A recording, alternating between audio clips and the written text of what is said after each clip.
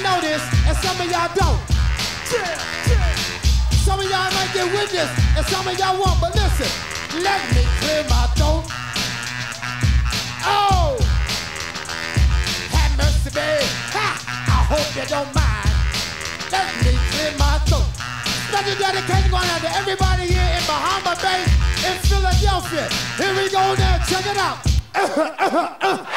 Yeah, rock to the rhythm of the funky rhyme, so I can get busy just one more time to the beat, and you don't quit. It's that old school rap with that new school hit. Be the piper, pick the pep up, a cool rap the rhyme, and I can still rip up the house. Every goddamn time I get on the mic, I go crazy. Peace out to CeeLo, Flex, and Doug Lazy.